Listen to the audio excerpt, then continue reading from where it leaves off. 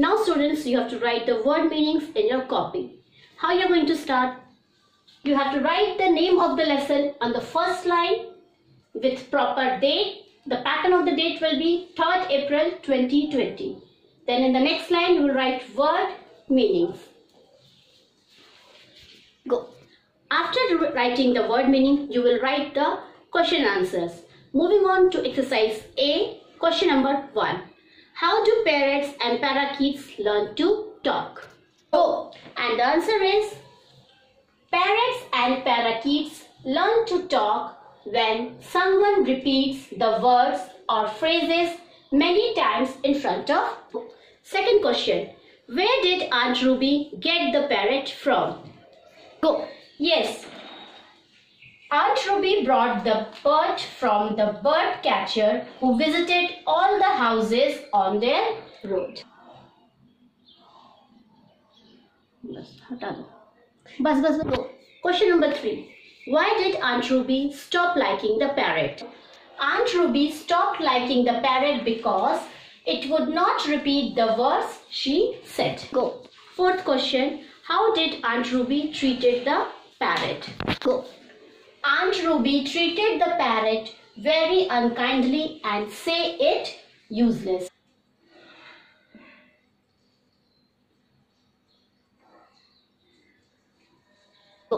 Question number 5. How did the parrot escape? And the answer is One day after feeding the parrot, the speaker left the cage door open by mistake and the parrot escaped. And the last question What made Aunt Ruby turned ruby red? And the answer is Aunt Ruby turned ruby red when the parrot repeated her unkind words back to her.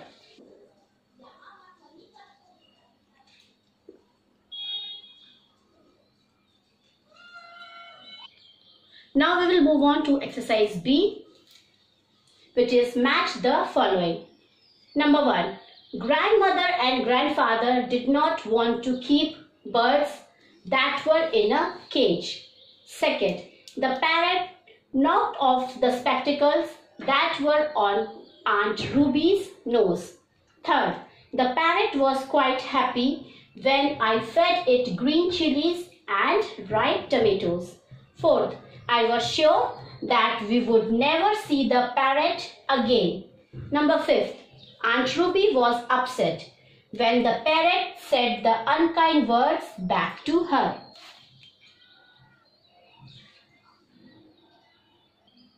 Now students, you have to write the answers in the same way as I have written on the board.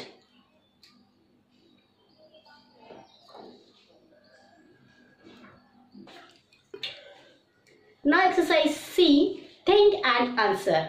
Question number 1. Why do you think grandmother and grandfather did not want to buy the parrot? Can you tell? Yes, you're correct. Grandmother and grandfather did not want to buy the parrot because they did not want to keep the birds in cage.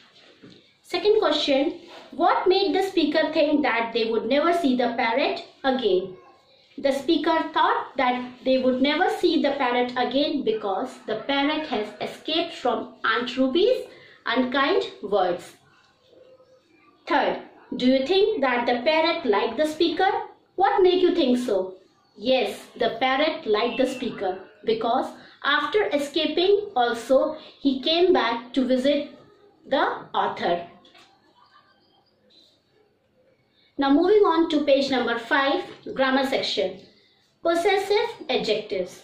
Possessive adjectives are the words which we use before noun to show that something belongs to someone. Exercise A. Underline the possessive adjectives in these sentences.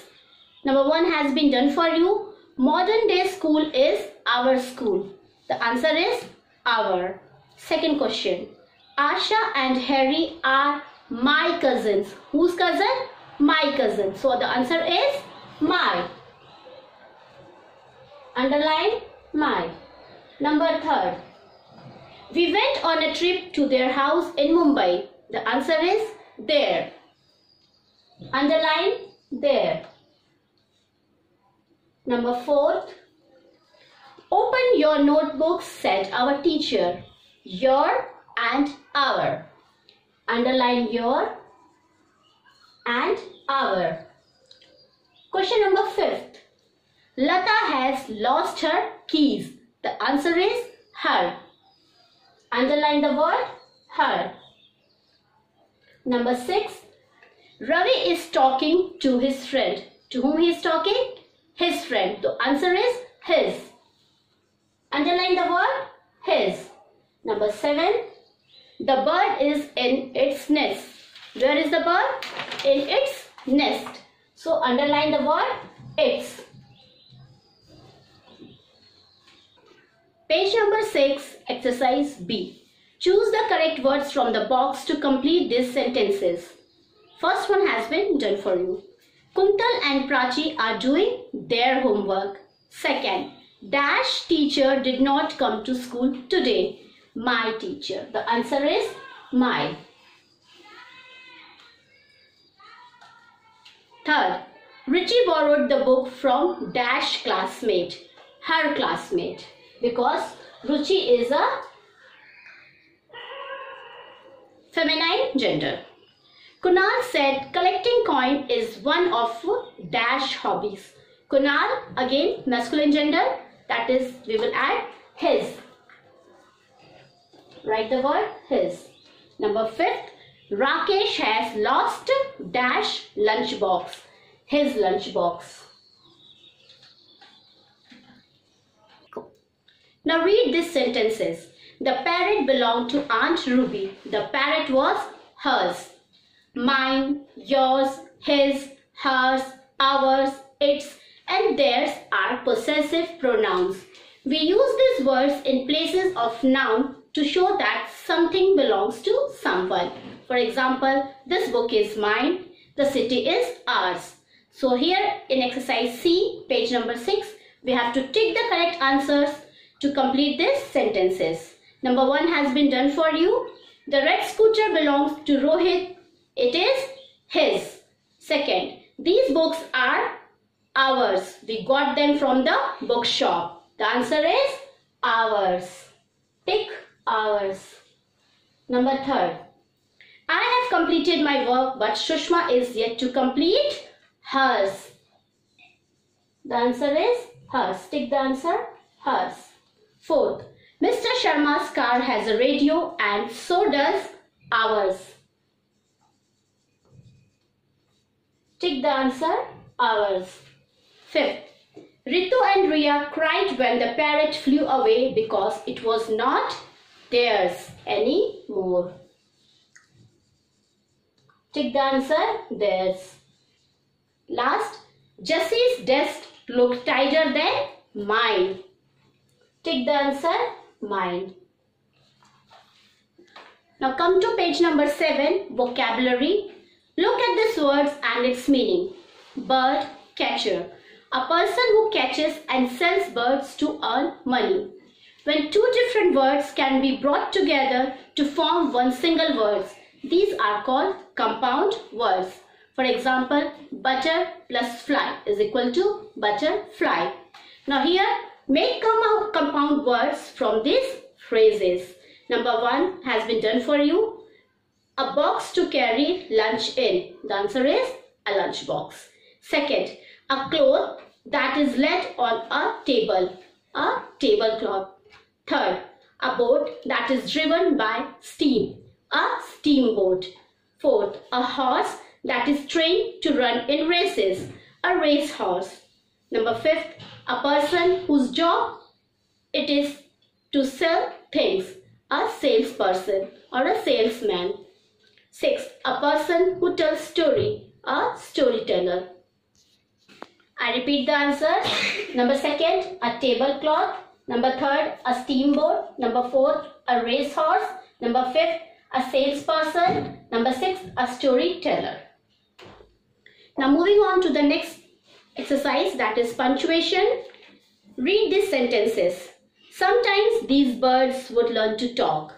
One day he pushed my aunt's spectacles off her nose. The commas show a short pause and separates a word or a group of words from the rest of the sentences.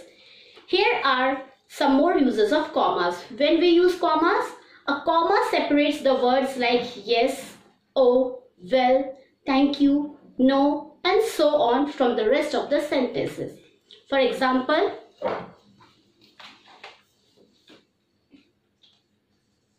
yes, please come in. Here we are putting comma after yes. Second, comma is used to separate words or phrases in list of things. Usually we do not put a comma before and. I went to the market to buy apples, comma, oranges, comma, mangoes and pineapples. So after and we are not going to put comma. Page number 8, exercise, punctuation. Put comma in the correct places in these sentences. Number 1, it has a hot, humid and unpleasant day. So we'll put comma after hot. Second, one day Anita, Rakesh, Lalita and Poonam went to watch a film together. So after one day, after Anita, one day, comma, Anita, comma, Rakesh, comma, after Lalita, no comma. Number third, no, Lata did not reach school on time. So after no, comma. Number fourth, what is the name of that small black fish? After small. Number fifth, oh, I did not know you were coming today. So after oh, put a comma. Number six, Sadaf ate an egg, comma, an apple and two pieces of toast for breakfast. So here we are putting comma after an egg.